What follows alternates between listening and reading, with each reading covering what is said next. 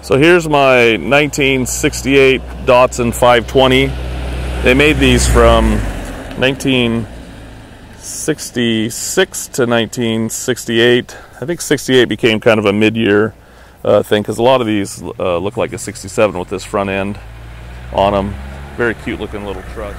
The grill is actually an NOS unit, really, really super hard to find. Uh, it's got original license plates from 1968, Oregon blue plates. All the lights work front and back except the reverse lights. You can see the turn signals working. Um, on the rear, you'll see the little re original reflectors on the corners. Uh, it was done in a the paint scheme. Uh, it, originally, it was a maroon color, but he decided to paint it a charcoal color. But he wanted to keep that theme, so he purposely did the, the bed in maroon, the wheels, interior, um, and underneath the hood. So just kind of keep with that theme of originalness. Even did inside the jambs and everything. The engine compartment is super clean, looks great. All the original numbers and stuff in there.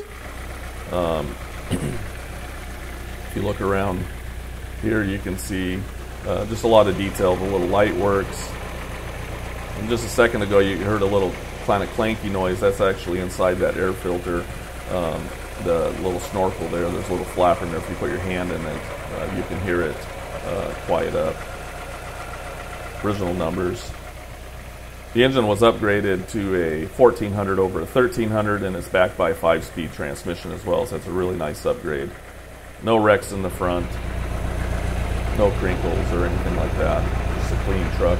You know, it's got a few little chips, a few little tiny little things. Uh, absolutely no rust, no rust bubbles in it. The only rust repair was a little part in the in the floorboard, a little probably two inch by two inch. You know, but just a nice, clean, original looking truck.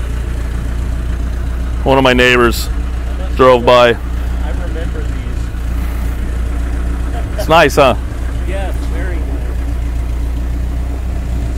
The tires on it are actually brand new and maybe maybe have 10 miles on them if you put them on it. You can see the oil light works, it goes off. Odometer isn't working and the speedometer is not working. It's hooked up, but it's it's currently not working. The radio doesn't work, but wipers, heater, uh, even the window squirter down there on the left works, and the hazard lights work. There's a little scratch in the windshield from uh, an old wiper that probably went bad a long time ago. You know, it doesn't blow smoke or anything like that. Just a nice driving truck. If you look down there on that console, John Morton signed that two years ago at Portland International Raceway.